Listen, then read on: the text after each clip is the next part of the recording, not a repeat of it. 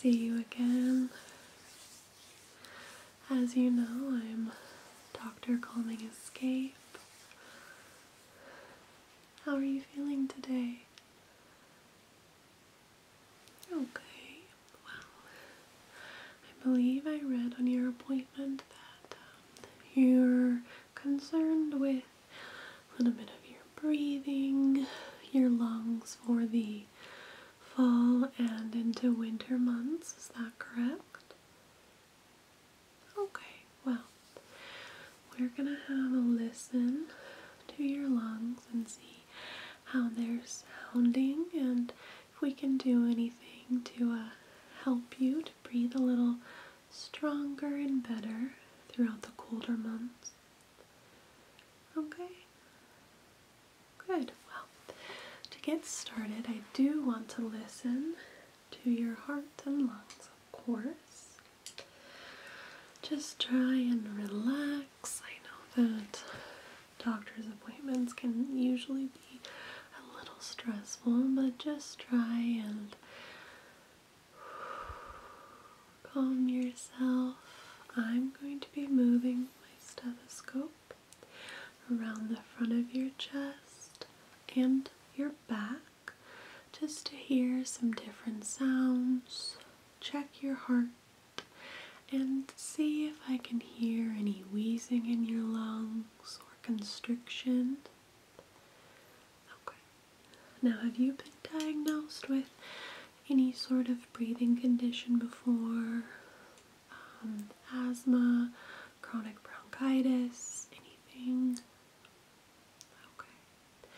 And are you a smoker? Okay. Alright, are you around any secondhand smoke?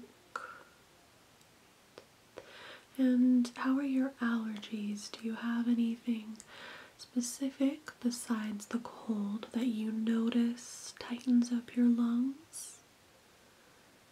Okay, we can always schedule you for an allergy test as well, see if maybe some dust or certain pollens, pets, things like that could be a trigger for you.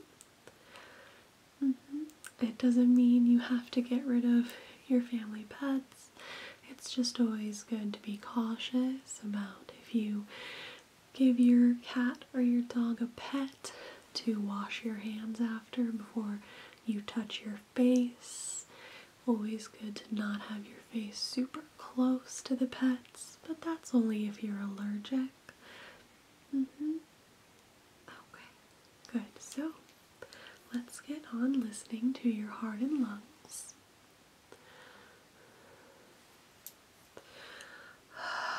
Warm this up for you, hon. Okay, good. Now, first I'm going to listen to your heart so you can just breathe normal.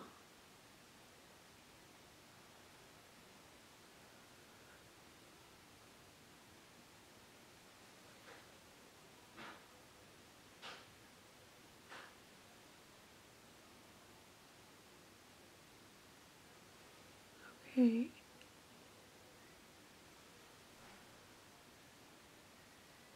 Can you hold your breath for me? And breathe. Hold your breath again. And breathe. Good. Alright. Now I'm going to be listening to your lungs now. To start, you're just going to continue to breathe nice and normal for me.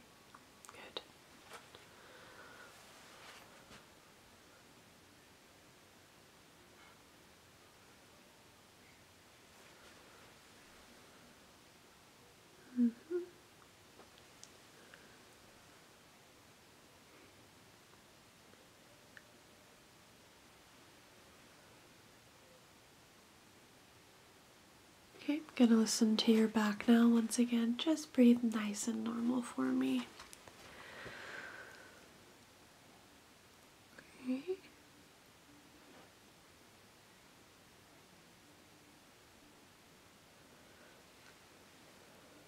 All right.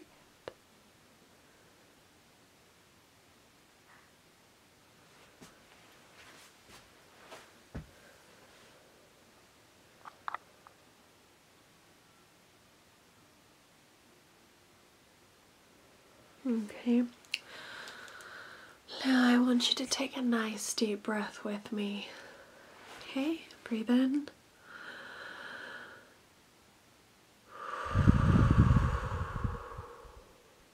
Again. Again.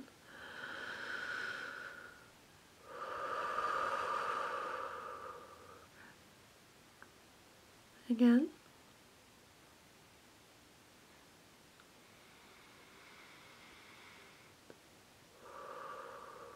Good.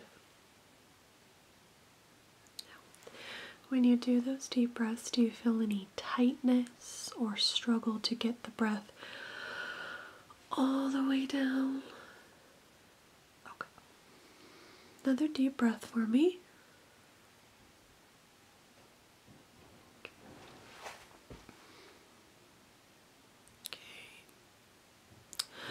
Gonna listen to your back now. We're gonna continue with that nice deep breath, okay? So anytime you feel my stethoscope move, just take a nice deep breath.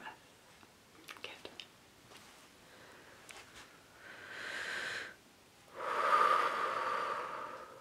Good job. Good.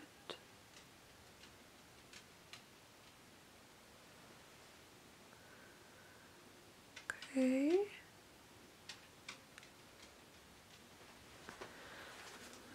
Same thing here. And another deep breath. Good. One more. Okay. And then just go back to your normal breathing for me. Good.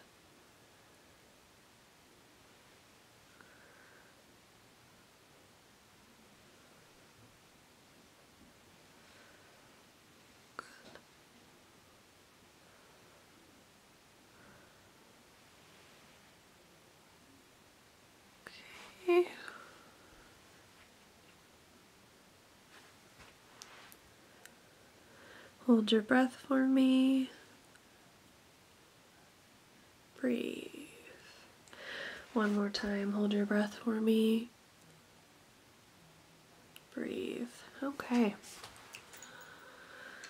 Okay, so I can hear a little bit of wheezing at the bottom of your breath there. Mm -hmm. um, not too concerning, but as we do head into the cooler months, if you are noticing that this is an occurring problem for you, I definitely want to address it now instead of later. Exactly. So, um, I know that we had prescribed you a rescue inhaler mm -hmm, for if you were to have any really harsh breathing attacks, right? Okay. Because it was more seasonal asthma, right? Okay, so not all year long. That's good. okay. Now, um, have we talked about potentially getting you on a daily inhaler or inhaled steroid for the winter months and see how that does for your lungs? Okay. Okay. Is that something that you would be interested in? Essentially, the the goal with the daily inhalers would be to get you to where you don't have to reach for that rescue inhaler. Take care of the wheezing, the constriction.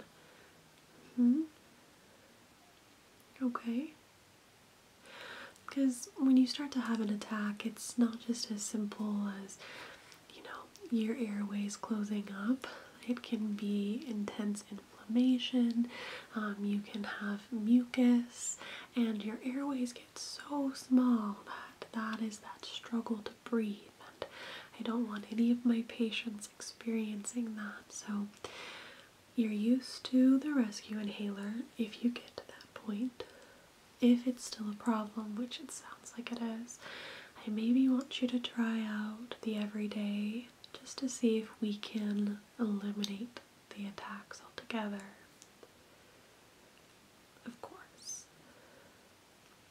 Okay, So I think I'm going to grab you some samples of those daily inhalers. Uh, no, I'm not gonna write a prescription for you just yet, and you know, I understand how costly those things can be, so I'm gonna pull from uh, some of our um, samples. Oh yes, we we have enough samples, don't even worry about it. And you can try that out for a couple months and kind of report back to me on how you're doing. Mm-hmm. We always have our portal that you can email me on in case anything gets better or worse.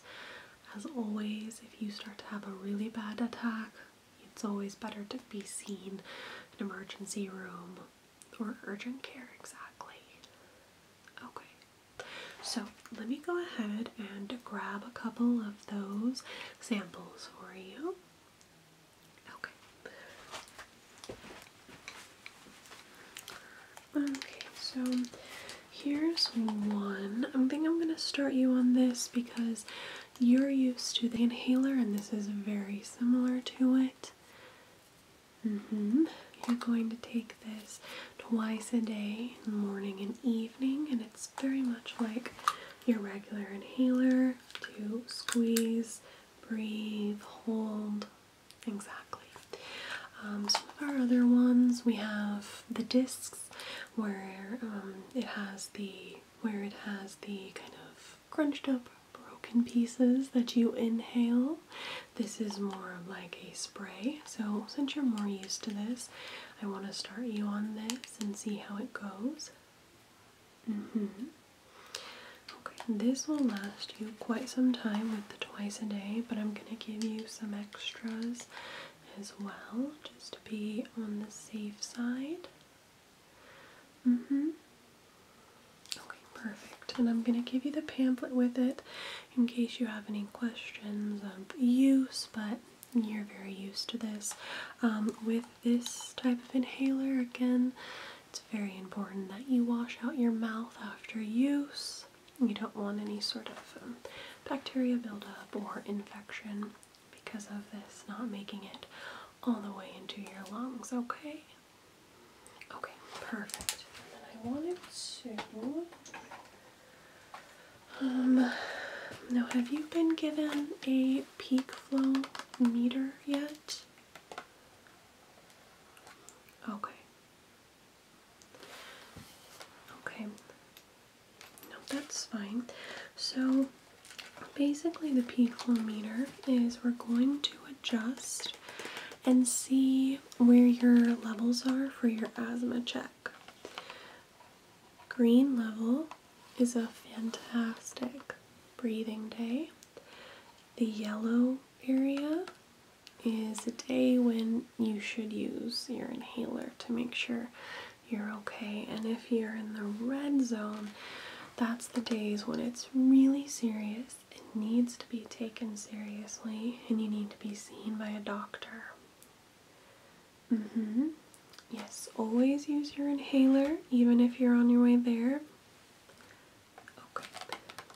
So we're to set you up with one of these to get your asthma check levels depending on how you what levels your blow peak is going to be. Okay, so that's going to be for you too. Yeah, it's just a good way to monitor our respiratory conditions.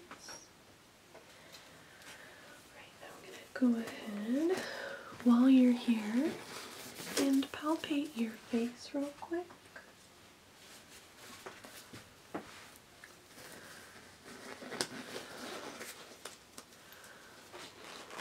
Okay, I'm just gonna feel under here.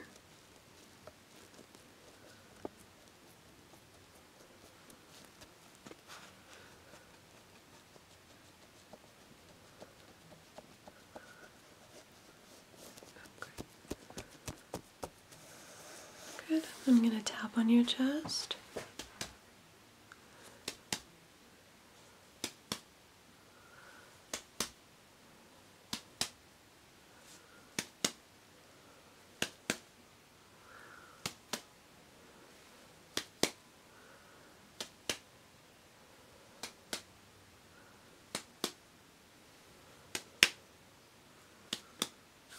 Tap on your back as well.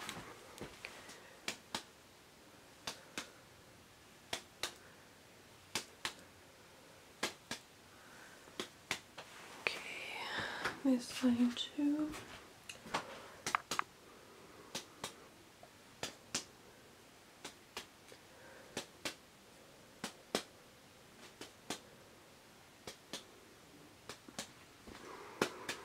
Okay. So, I will send you a appointment reminder, and you can just touch base with me on how that um, Daily inhaled steroid is going for you. How often you need to use the inhaler. It's good to kind of make notes in your phone, maybe. That's an easy way on if you're having to use your rescue inhaler more often or if it's subdued.